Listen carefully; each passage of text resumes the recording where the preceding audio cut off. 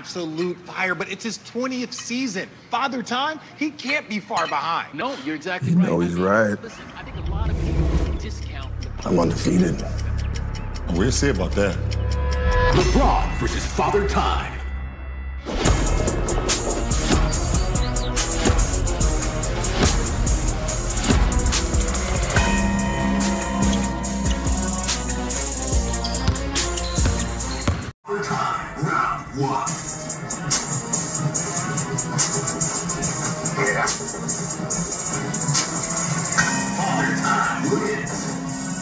What's next? Go make me a sandwich. Versus Father Time, round 23. You know you can't beat me, right? On your marks. Get set. Go! Bro, your daddy's going really hard. I can do this all day. He's always talking to himself. It's getting weird. You're not gonna beat me. You're not gonna beat me. Shake it, bro. LeBron wins. Ah! Hell yeah. You help your mouth up. Sit down, old man. Oh, what?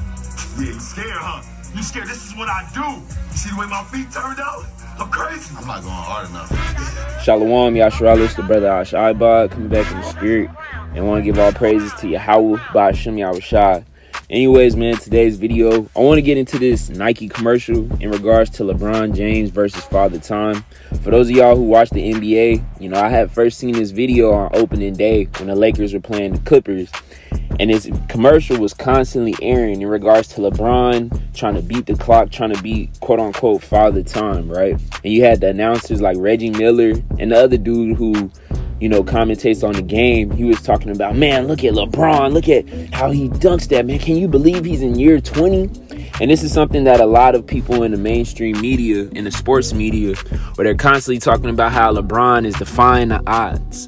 And when you look at it at face value, you know that is true for LeBron to be in year 20 and to be doing what he's doing. It is a testament to his greatness. Now, for those of y'all brothers who understand, you know, many things behind the scenes, LeBron has certain things stacked in his favor. Let's just keep it at that.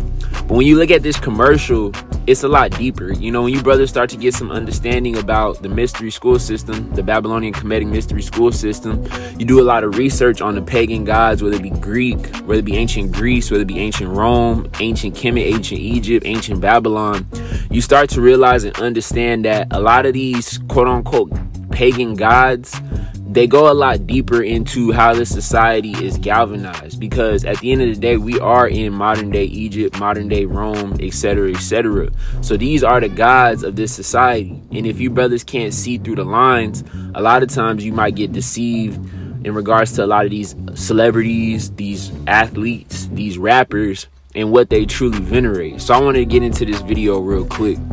So first things first you see on the right you have quote unquote father time but when you actually do some studying, that represents Saturn. You know, he's obviously in the purple. You see behind him, he has the clock. And the god Saturn is the god of time, right? So this is a picture of what, you know, people proclaim to be Saturn. So obviously, he's holding um I forgot what that's called, but basically y'all brothers know it's like the oh, the hourglass, right?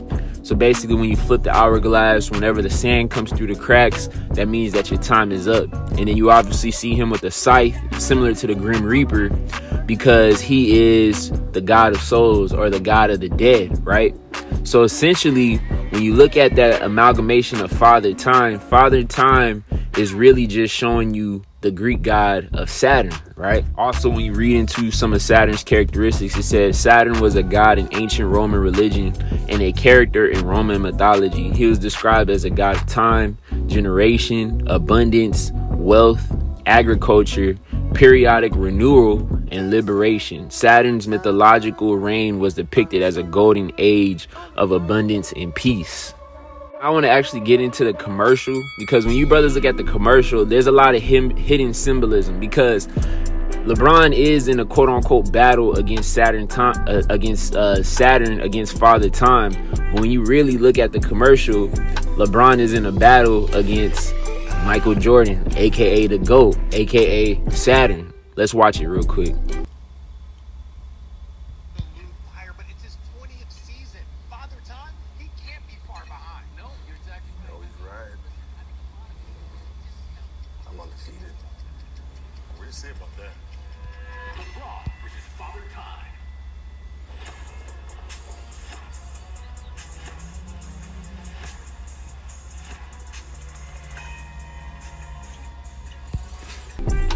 So I wanted to stop right there because y'all can see the quote unquote god Saturn is going against LeBron, right? And again, he has the purple, right?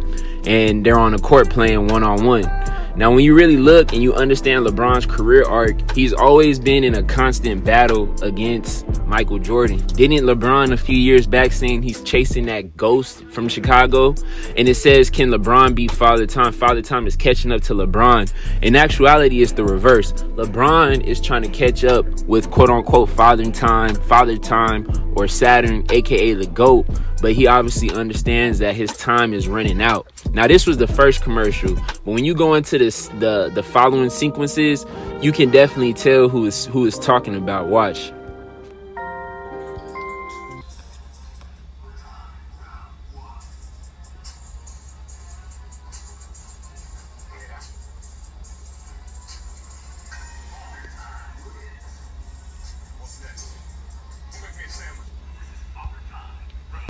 All right, now I want y'all to really look at this round. Now, first and foremost, round 23. Now, you obviously know LeBron wears 23. Y'all obviously know uh, Michael Jordan wears 23. You know, Kobe wears number 24. Um, who else? Magic Johnson wears the number 32, three times two is six. Larry Bird, 33.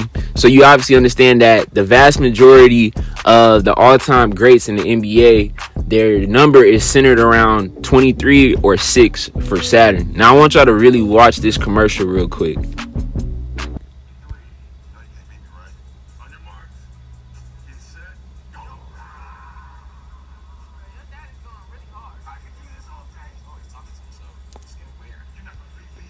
Now, real quick, so LeBron is going against Father Time, right? But to the outside world, LeBron is talking to himself. That's why you had his son Bronny and I, I forgot his name, uh, Bryce or whatever his name is, saying, Why is your dad always talking to himself? Because again, LeBron is in a figurative or a spiritual battle against Saturn, aka Michael Jordan. Again, when you look at the quote where LeBron said he's chasing the ghost of Michael Jordan, he's essentially telling you he's trying to chase in his legacy, he's trying to chase in his spirit to be like Mike, but essentially like Mike or Le- or Michael Jordan is undefeated. He's the he's the goat, right? So let's get into it more. Let's let's watch more of the video, right?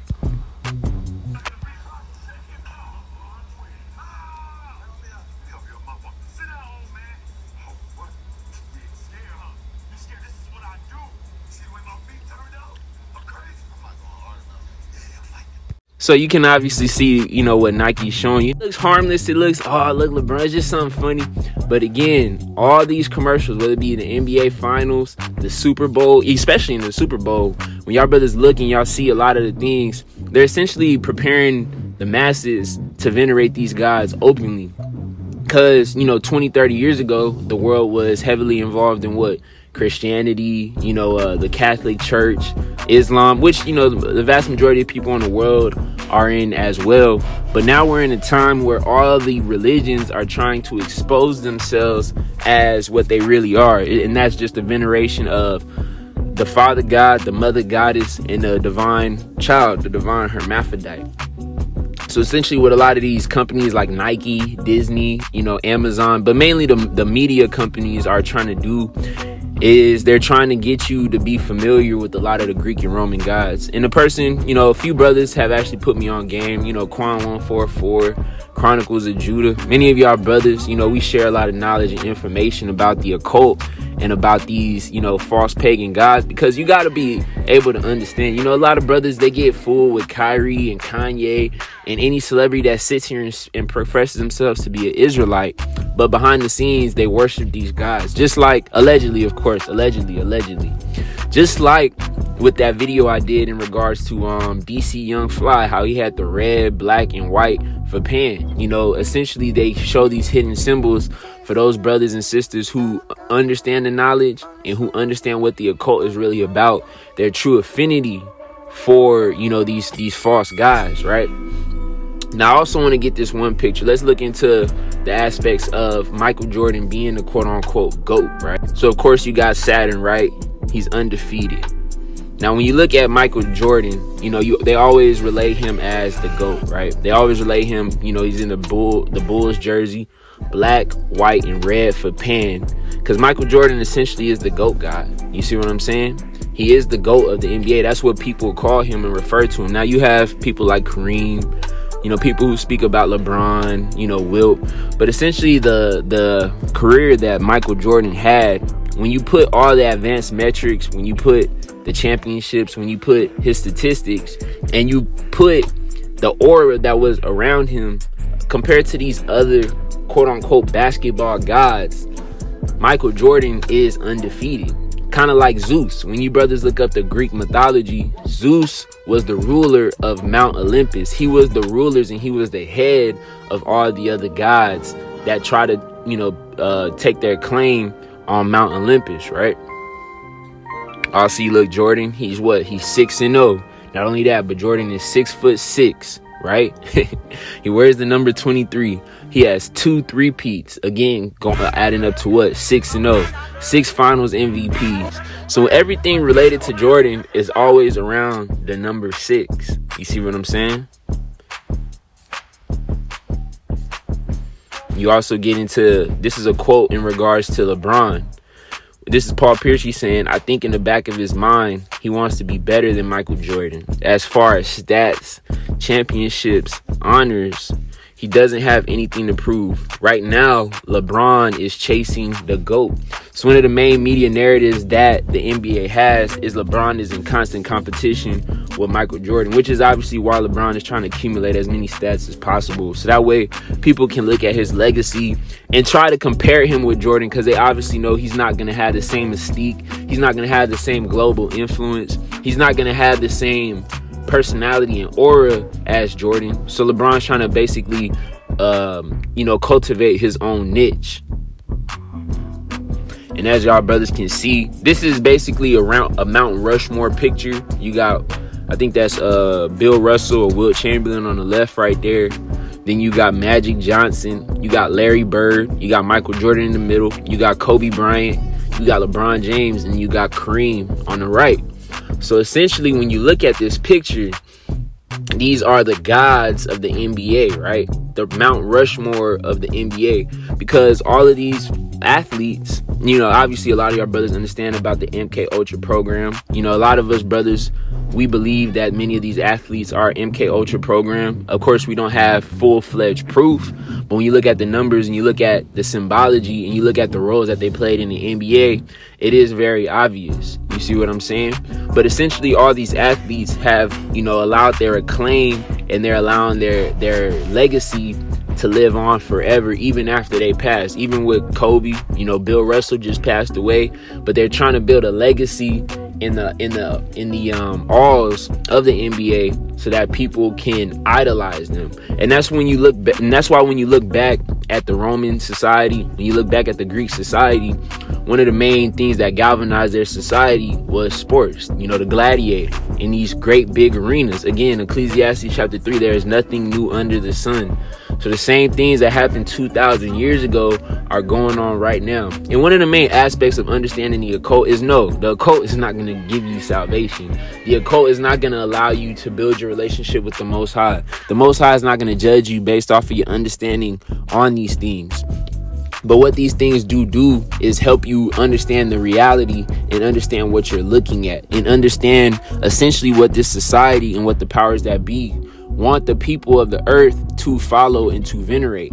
That way you brothers can understand what the most high tells you not to do and tells you not to worship and you don't get caught up in these storylines. You don't get caught up in these characters and you don't get caught up in idolizing somebody and placing them as a god because the vast majority of people on earth, they look at these men and they worship them as gods.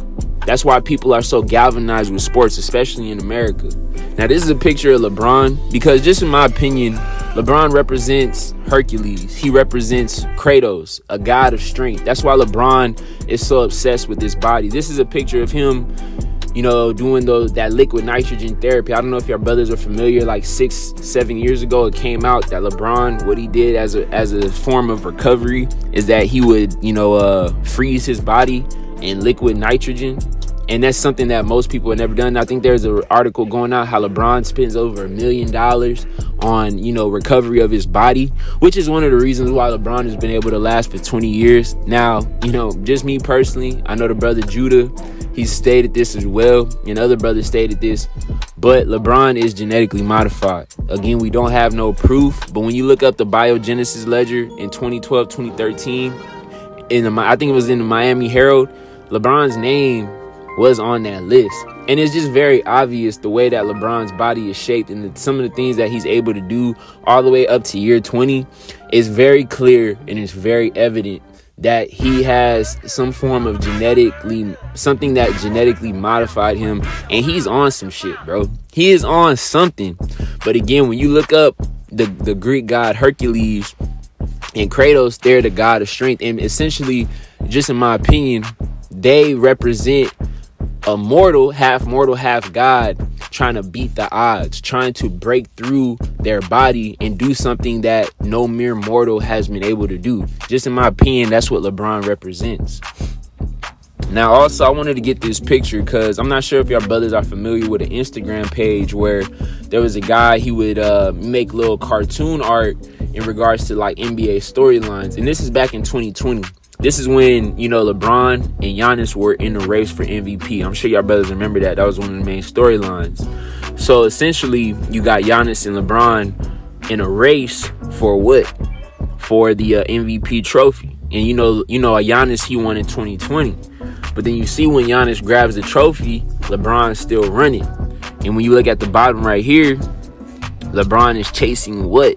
The GOAT. You see? He's chasing he's chasing the GOAT. He's chasing Michael Jordan. And you see in the background, there's kind of like a little stone mountain, and you see different faces on there. So LeBron, what he's doing is he's trying to chase his place on Mount Olympus, on Mount Rushmore. He's trying to be with one of the, the ancient mythological gods, in which in modern day is represented with a lot of these NBA athletes. So whenever you see LeBron in a competition with Saturn, whenever you see LeBron in a competition with Father Time, essentially LeBron is trying to, you know, um, certify his place as a modern amalgamation of an ancient Greek god, but just in the NBA. You see what I'm saying? So, Lord willing, this lesson was edifying. Hopefully, our brothers got some understanding. If I said something incorrect in regards to, you know, one of these, you know, uh, pagan gods, and y'all brothers want to add anything in the comment section, feel free. And, you know, brothers understand what you're looking at. You know, there's nothing wrong with watching sports for entertainment, but don't get caught up in the storyline and don't get caught up in the characters, man. Because at the end of the day, they know which they know which guys that they're worshiping. And with that being said, it's the brother Ash Ibad signing out.